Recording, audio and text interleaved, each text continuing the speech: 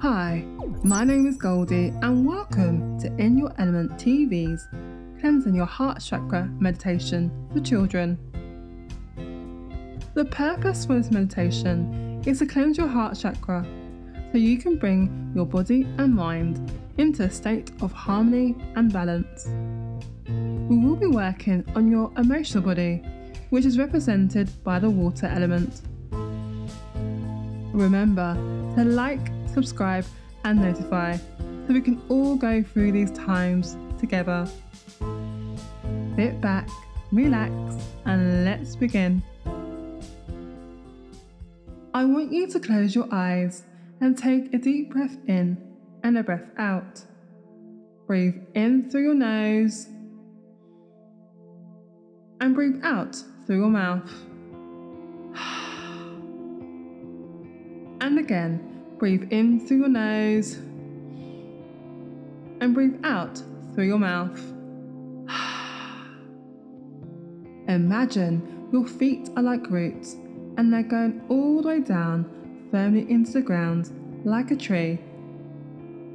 Our fourth chakra is the heart chakra, which is located right in the middle of your chest.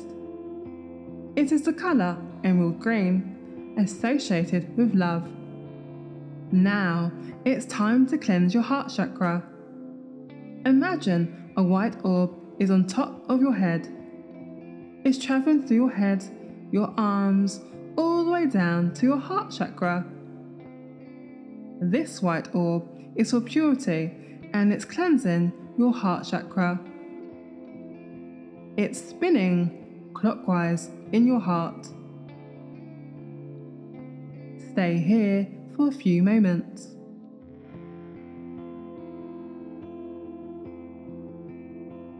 Now, imagine this white orb is going all the way down to the center of the earth. Say goodbye as it leaves your body. Now, imagine an emerald green orb is powering up your heart chakra up like a superhero and say the following magical sentence three times I am love, I am kind. I am love, I am kind. I am love, I am kind. Your heart chakra is now fully cleansed, and you feel more love and kindness towards yourself and in yourself. I want you to tap your shoulders and your arms and legs, wiggle your nose and toes, and bring yourself gently back into the room.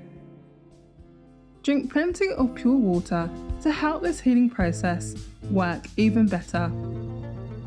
Remember to give us your feedback on how this process has worked for you.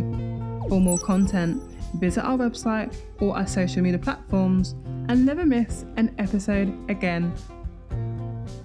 Ciao for now!